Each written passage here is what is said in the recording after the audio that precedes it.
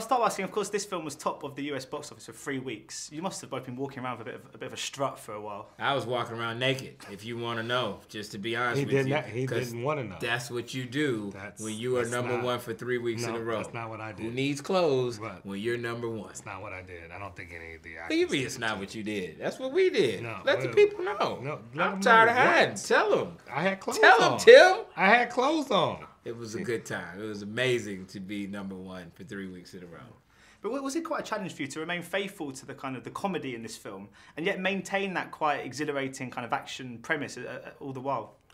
Well, that's what we are going for. So, um, you know, ho- uh, you know, luckily, I I think we had some type of success with that. I think when you when you think about comedies, you also want to keep the um, what do you want to say the stakes high, and you want to you want to make sure that they're up against um, the great good foes and this and that. So I think um, we kind of wanted to make sure it was funny at the same time, but uh, give you also because it's an action comedy, give you the action. I I mean, the casting is spot on, even physically. I mean, Ice Cube just has this general kind of mean look to his demeanour, and Kevin Hart always looks a bit surprised. And it just it, it instantly suits their kind of personalities. Absolutely. Uh, I- we, we, yeah. we, knew, we knew if we could get these guys together that um, it would kind of uh, take care of itself. I mean, these guys are they, they, they can totally play that opposite thing on screen that just made it uh, made it magic to me.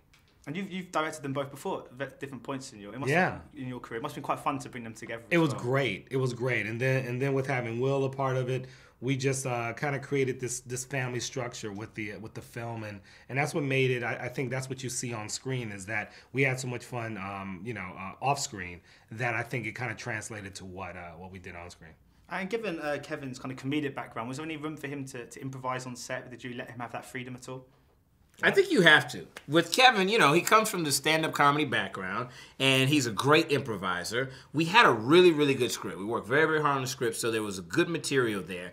Kevin definitely used that kind of as a basis and then he would expand upon it. And Tim would let him run. And so we would have takes where we didn't know what Kevin was going to do. We just knew he was going to bring something to it. And sometimes he would catch all of us off guard with some of his improvisations. And Tim's laughing, I'm laughing, the crew is laughing, everybody but Ice Cube. Ice Cube would not break. He would always be in character. Kevin could not break Cube. And, and Tim, I read that you've got a twin sister. Yes. Is yes. Does that mean were you able to relate to Ice Cube's character at all and how he, kind- you know, the, that whole You know protective what? nature? You know what I did? I, I think when when I was uh, just getting into to making this movie, that's one of the things that I kind of drew drew upon. You know, um, she's married and she has a she has a great husband, but when she, when you first hear that she's either dating or engaged, you kind of do put up a little bit of a you know your face gets a little bit straight. Like, who is this guy? He's about to take care of my sister. Who is he? What does he do? And um. And I, and I think we all. I think that's what makes the film kind of accessible to everybody. That whether it's a a, a mo, you know a father, a, a mother, a, a sister, brother, whatever it is, you know when you when from a guy's standpoint, when you find that one that you maybe want to marry, you uh, you have to start uh, being sure that you kind of get the uh, uh, quote unquote permission from uh, that person. And it seems to be a strong time at the moment for African Americans in, Hollywood. And I was wondering if uh, was it even more encouraging for you on this project that race and ethnicity doesn't come into the story at all, and it's just these roles could be played by anyone.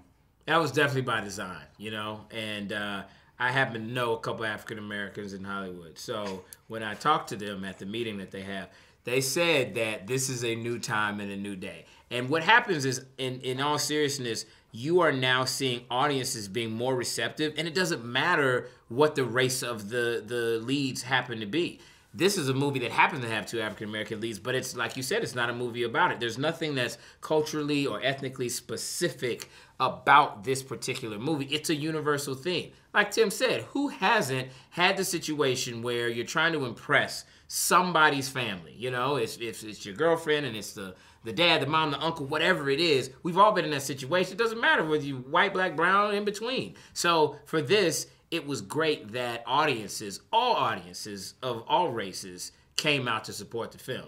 That's why I know it's going to do well in the UK. Right? Absolutely. Well, it's done well enough already that a sequel's been confirmed. Is that something that you're both sort of involved in or hoping to be involved in? Yes, we're on.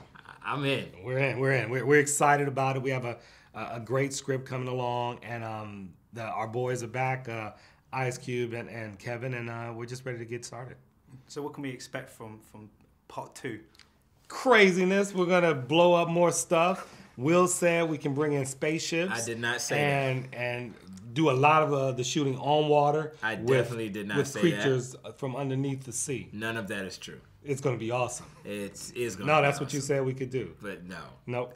Bigger and better. Yeah, bigger and better with intergalactic. No aliens taking place on Earth. With ships and like battleships and submarines. We'll talk about it. Uh, and we'll just find out. I, I, briefly spoke to Ice Cube about the Straight Out of Compton film, the NWA kind of biopic. So yeah, uh, that's, is that a project you'll be involved in as well? I will. Yes, I'm helping to move that along. Obviously, that's something that Cube is going to be very, very involved in, uh, along with Dre. I've talked to the guys; they're excited about it. Uh, F. Gary Gray is directing it, so I'm just going to lend a hand wherever I can. But you know, that's an iconic group, an iconic project, and uh, I think it's going to do really well.